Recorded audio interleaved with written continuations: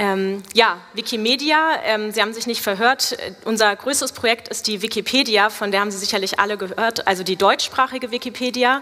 Ähm, wir setzen uns als Verein für freies Wissen und offene Bildung ein und in dem Kontext werde ich Ihnen jetzt auch das folgende Projekt und auch die folgenden Empfehlungen vorstellen. Aber bevor ich mit den Details beginne, ähm, eine kleine Einführung in das Thema, um das Ganze hoffentlich verständlicher zu machen. Nehmen wir an, es gibt gerade einen großen Hype zu einer bestimmten Sache. Äh, sagen wir mal, es sind Donuts. Ähm, Donuts gibt es ja eigentlich so oder so ähnlich schon seit längerer Zeit, aber irgendwie haben sie eine neue Blüte erfahren. Also als gebürtige Berlinerin äh, kenne ich schon und Sie vielleicht auch schon lange Berliner Pfannkuchen. Genau, jetzt haben wir Donuts und ähm, Sie haben von diesem neuen Donut-Hype gehört und denken sich, ich will das auch mal ausprobieren. Ich bin neugierig, ich habe Lust, das mal zu testen. Es gibt noch nicht so viele Läden, die diese neuen Formen von Donuts haben. Deshalb suchen sich den bestimmten Laden aus und gehen dann mal vorbei und sehen in der Theke richtig tolle Donuts mit äh, tollem Zuckerguss und verschiedenen Streuseln und manche sind noch gefüllt und was auch immer. Und sie suchen sich einen aus und beißen rein. Boah, erster Biss, richtig gut. Äh, Geschmacksexplosion, also viel süß, äh, keine Ahnung, Cookie, Fudge, Chocolate, was auch immer. Äh, grandios. Also sind wirklich begeistert, sie können verstehen, warum diese Donuts so krass gefeiert werden. Dann beißen sie ein zweites Mal rein und irgendwas ist ein bisschen seltsam. Irgendwie ist das saure Gurke? Also nicht das, was sie bestellt haben, auf jeden Fall. Gehen Sie mal zur Ladentheke und fragen nach. Entschuldigung, irgendwie der Donut, also da stand Cookie, Fudge, Schoko, Erdbeer drauf, aber ich glaube, der schmeckt nach saure Gurke. Ja, kann ich Ihnen nichts dazu sagen, sagt die Person an der Ladentheke. Äh, okay, aber was, was ist denn in dem Donut drin? Ich, also doch keine saure Gurke, oder? Ja, kann ich Ihnen, wie gesagt, nichts dazu sagen, weil das macht so eine Backmaschine und das Rezept ist geheim. Okay, äh, gut. In diesem Laden werden Sie dann wohl keinen Donut mehr essen. Ähm, was ich hier kurz eingeleitet habe mit dieser etwas schrägen Donut-Geschichte, soll eine Metapher sein für das Thema KI, generative Chatbots. Denn was wir bei so einer Donut- Erfahrung nicht akzeptieren würden, dass uns einfach gesagt wird, Rezept kennen wir nicht, was da drin ist, können wir auch nicht genau sagen, äh, es macht irgendeine Maschine, was auch immer. Ähm, ich glaube nicht, dass sie sich auf diesen Deal einlassen würden und äh, dieses Produkt weiterhin einfach so konsumieren würden. Allerdings, wenn wir auf generative Chatbots schauen, aber auch Bildungstechnologien oder generell Technologien insgesamt, ja, man ist irgendwie dran gewöhnt. Also wir wissen nicht so genau, was steckt denn hinter diesem einen großen, sagenumwobenen generativen Chatbot, von dem wir hier ganz viel reden.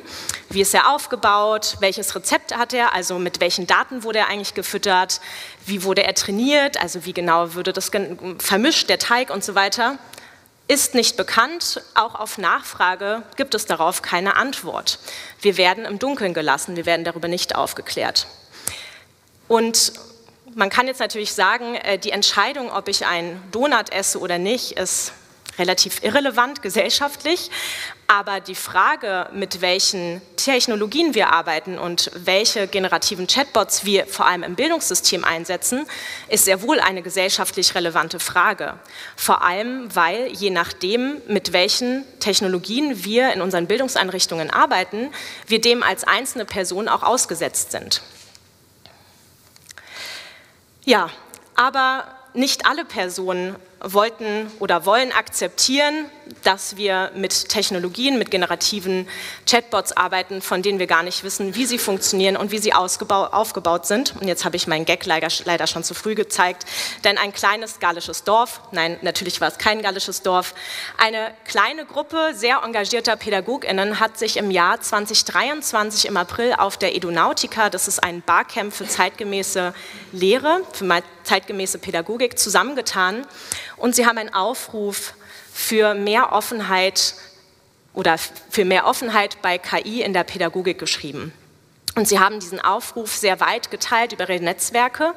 Und so sind wir als Team Bildungspolitik bei Wikimedia Deutschland auch auf, dieses, auf diesen Aufruf aufmerksam geworden. Und da wir, wie ich ja gesagt habe, die Themen freies Wissen und offene Bildung sozusagen im Herzen tragen, das sind unsere großen Themen, sind wir gleich auf diesen Aufruf angesprungen, haben gesagt, können wir irgendwie mitmachen, können wir euch unterstützen. Und so hat es sich ergeben, dass wir gemeinsam mit einer der am Aufruf Beteiligten, Nele Hirsch, sie ist ähm, Pädagogin, Bildungswissenschaftlerin, sie hält auch eine andere Keynote auf, auf dem University Future Festival, sicherlich kennen Sie einige von Ihnen, haben wir mit ihr gemeinsam ein, ja, ein kleines Projekt ausgearbeitet, und zwar eine mehrteilige Veranstaltungsreihe, das Forum Offene KI in der Bildung.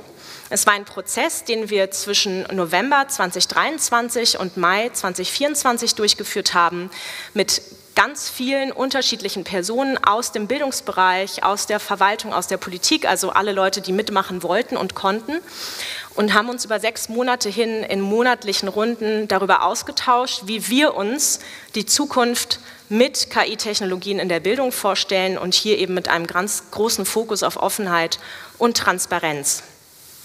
Und in diesen sechs Monaten haben wir in Schreibwerkstätten an einem gemeinsamen Empfehlungshandlungspapier gearbeitet mit bildungs- und digitalpolitischen Forderungen. Genau, diese haben wir am 14. Mai mit einer Runde von äh, Bildungs- und DigitalpolitikerInnen bei uns äh, in der Wikimedia Geschäftsstelle verabschiedet bzw. veröffentlicht und auch diskutiert und wir sind bisher positiv überrascht. Die Resonanz ist gar nicht so negativ. Ähm, ich musste vorhin bei den äh, Lippenbekenntnissen von den Hochschulleitungen ein bisschen lachen, weil auf jeden Fall haben wir schon mal Lippenbekenntnisse auch auf Video, die sich dazu äußern, dass sie offene, transparente KI-Technologien in der Bildung tatsächlich sehr wichtig finden. Das ist ja schon mal ein erster guter Schritt.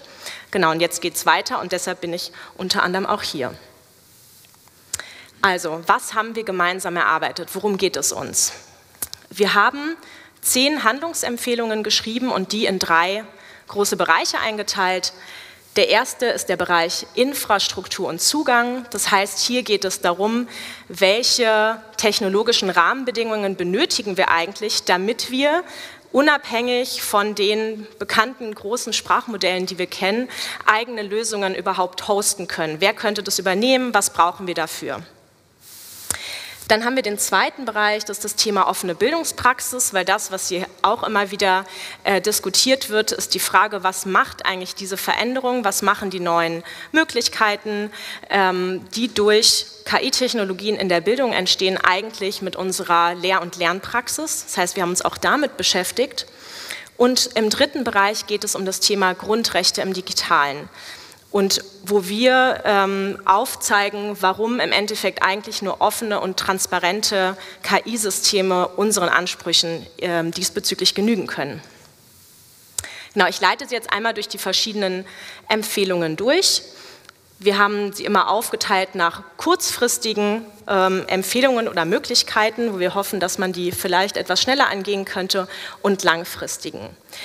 Genau, zur ersten kurzfristigen Empfehlung, äh, da geht es darum, dass wir überhaupt erstmal für alle lernenden Personen in Deutschland, also wir haben uns jetzt auf Deutschland beschränkt, äh, Zugänge zu offenen KI-Systemen schaffen.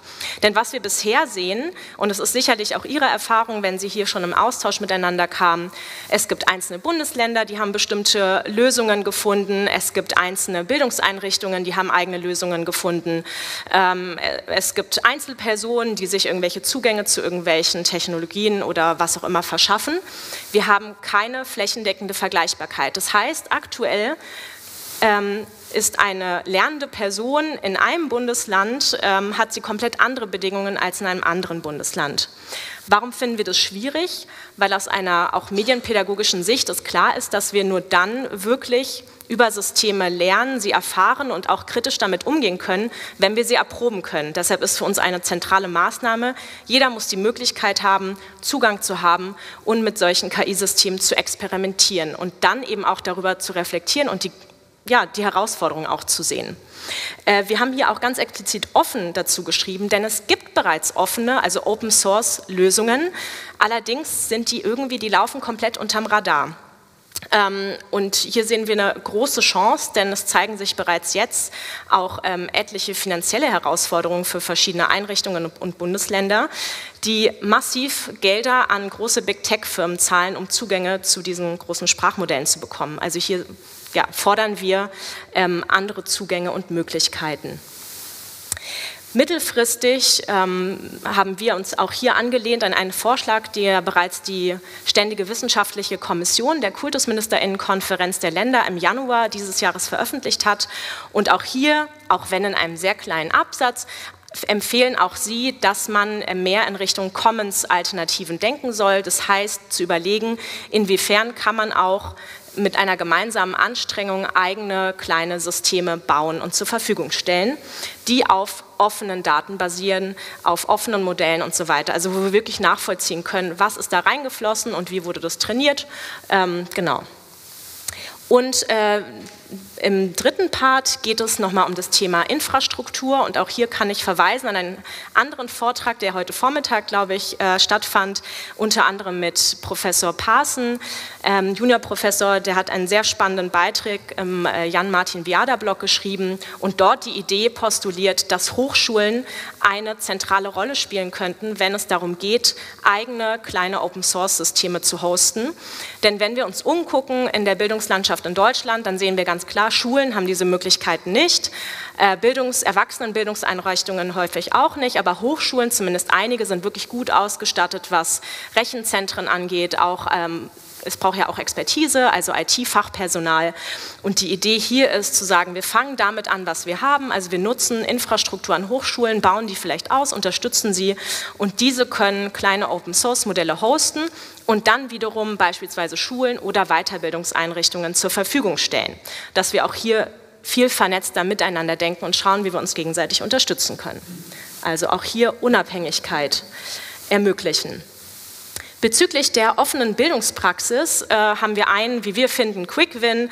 Äh, das ist sowieso eine Grundforderung von Wikimedia, einfach zu sagen, alles, was auf, aus öffentlichen Geldern bezahlt wird, soll auch der Öffentlichkeit zugutekommen. Wir kennen das unter dem, ne, im, im, im, Wissenschaftsbereich, die Idee von Open Science, Open Access. Genau dasselbe gibt es ja auch im, im Bildungsbereich, also zu sagen, Bildungsmaterialien, die durch Personen, die aus öffentlichen Geldern bezahlt werden, also wahrscheinlich relativ viele, die hier im Raum sitzen, entstehen, sollen einfach auch automatisch wieder unter einer freien Lizenz zur Verfügung stehen. Und das natürlich auch bezogen auf KI-Ressourcen, weil auch hier gibt es einfach schon bis, bis jetzt sehr große Unterschiede. Und hier gibt es erste tolle Modelle, also der KI-Campus hat relativ viel zum Beispiel schon offen, da kann man noch mehr oft öffnen. Genau, aber ähm, einfach diesen, diesen Wunsch nochmal hier zu unterstreichen. Ein zweiter großer Bereich, wenn wir über offene Bildung oder offene Bildungspraxis sprechen, ist natürlich generell die Frage, wie können wir ähm, lernen oder wo lernen wir überhaupt mit offenen Materialien umzugehen, überhaupt die Idee von was bedeutet Open Source, was bedeutet freie Software, äh, wo kriegt man das überhaupt mit ähm, und hier vielmehr dieses Thema der, wir haben es jetzt Offenheitskompetenzen genannt, mit in den Blick zu nehmen und einfach im Kontext von Digital- und Medienbildung als Querschnittsthema viel stärker mit zu adressieren.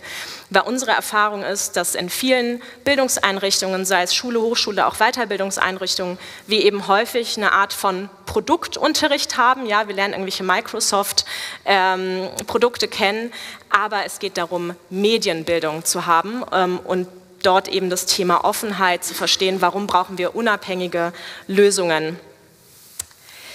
Ähm, Genau, und mittelfristig, ich fasse die beiden Dinge jetzt zusammen, ähm, hier geht es um das große, dicke Brett der Fortbildung ähm, und Weiterbildung und auch der Prüfungskultur. Und zum einen die Frage, wie können wir bereits in Lehr- und Lernprozesse es schaffen, andere Fortbildungskonzepte mit zu integrieren, weil wir auch hier wieder sehen, dass, ähm, also da können Sie selber sicherlich viel mehr dazu erzählen und da wäre ich auch sehr spannend, mehr von Ihnen auch später zu hören, was wir ähm, häufig erleben oder auch rückgespiegelt bekommen, man besucht dann vielleicht mal eine Fortbildung, wo man irgendwie ein paar Tricks zum Prompting lernt, aber das genügt ja in der Regel nicht. Das sind fortlaufende Prozesse, das ist etwas, was sich kontinuierlich weiterentwickelt und hier die große Frage, wie können wir eigentlich an Hochschulen, auch an anderen Einrichtungen Weiterbildungsstrukturen schaffen, die kontinuierlich laufen, die kollegial laufen, die dementsprechend vielleicht auch niedrigschwellig laufen. Ähm, Und da braucht es aus unserer Sicht andere Formate als viele der bestehenden, wo man mal, meistens dann auch noch freiwillig im Hochschulkontext, eine Fortbildung besucht, sondern wirklich die Frage, wie können wir hier andere Strukturen einziehen. Und ähm, das Gleiche gilt ein Stück weit, ja, betrifft das Thema Lehr-, Lern- und Prüfungskultur. Auch hier unser Aufruf, lasst uns die Dynamik nutzen, die aktuell besteht, dass eben so vieles neu ist und, und auch vieles in Frage gestellt werden. Das wurde ja auch, heute Morgen gab es ja einen äh, Vormittag, gab es den einen Beitrag, wo so verschiedene Aussagen getroffen wurden. Und da war ja auch so ein bisschen die Debatte, ähm, bringen uns Bildungstechnologien eigentlich dazu, dass wir Lehre neu denken oder eher nicht? Und also das war, glaube ich, gab es nicht so eine richtige Antwort, aber wir versuchen zumindest zu motivieren, zu sagen, lasst uns diesen Moment nutzen und wirklich überlegen, wie wollen wir denn unsere Lehre äh, und auch unsere Prüfungskultur gestalten. Ähm, und dazu einfach jetzt diesen Moment, äh, genau, das in Angriff nehmen. Und der dritte Teil, ähm, das Thema Grundrechte im digitalen Raum. Das äh, geht wieder so ein bisschen auf mein, mein Donut-Beispiel zurück. Ähm, ja, wir haben irgendwie häufig akzeptiert, dass, oder viele von uns, oder ich kann nur für mich sprechen, ich habe auch lange akzeptiert, ja, was auch immer, Technologien, es ist halt auch sehr komplex und so weiter, ich verstehe es nicht, ähm, ist so, kann man nichts machen, äh, damit muss ich leben. Ähm, aber wir haben gesagt, nee, wir finden nicht, dass man damit leben muss. Und es gibt bereits auch äh, Forderungen, ähm, ein relativ bekanntes Papier, was sich auch klar für äh, sogenannte Data Sheets ausspricht, wenn es um KI-Technologien geht, äh, beispielsweise um Sprachmodelle.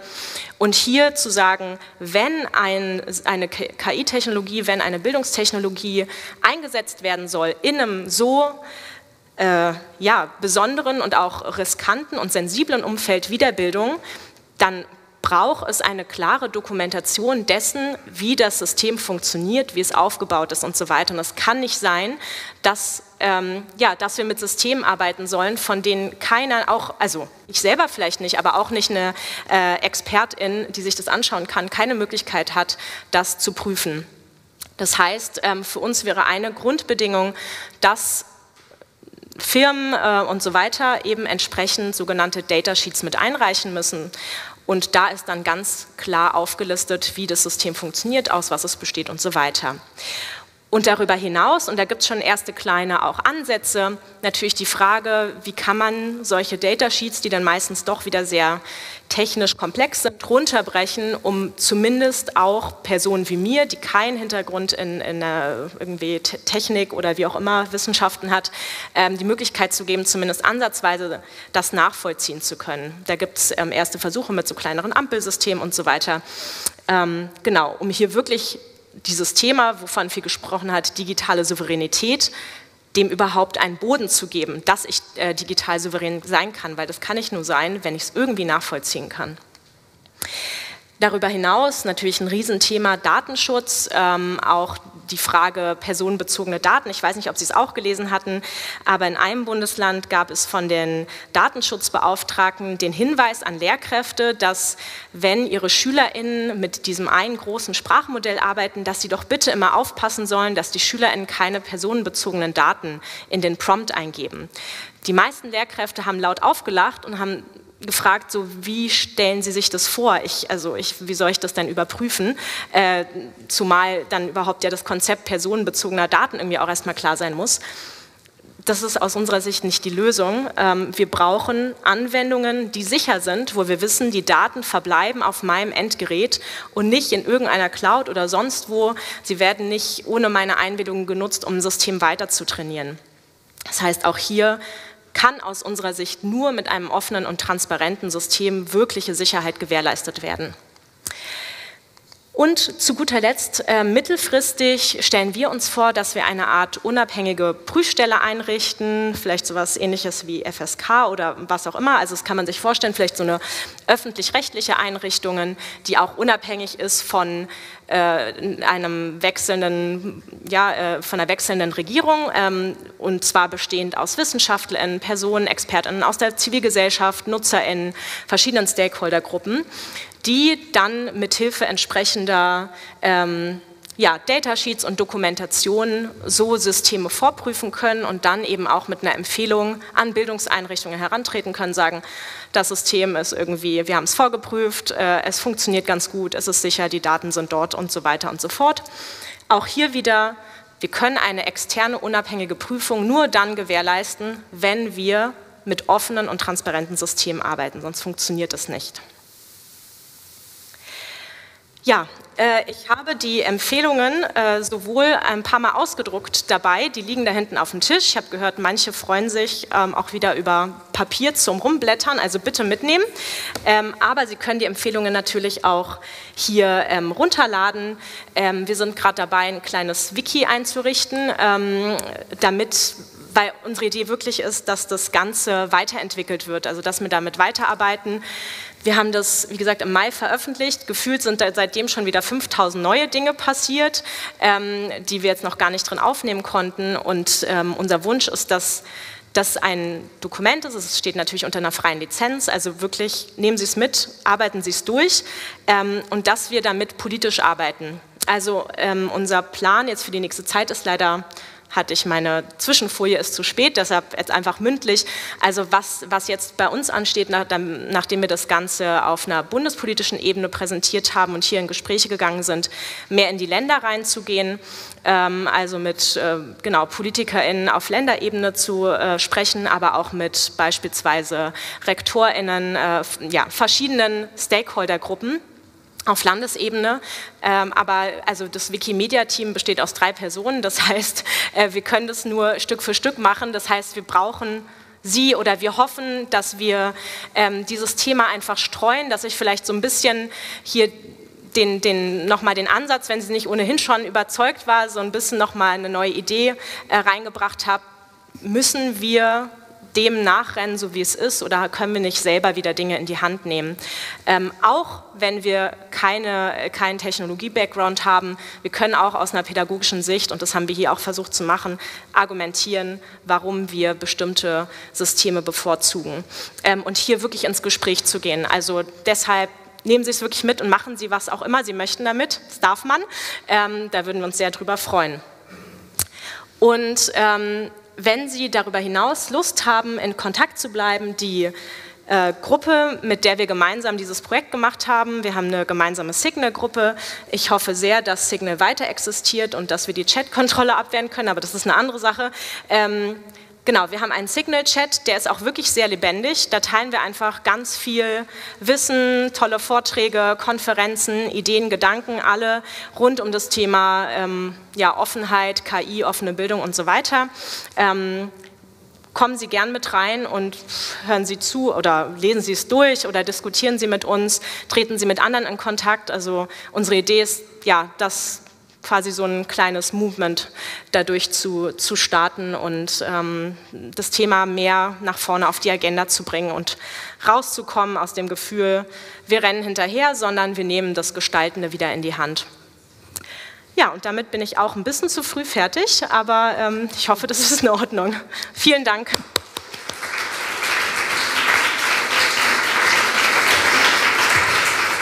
Ja, ganz.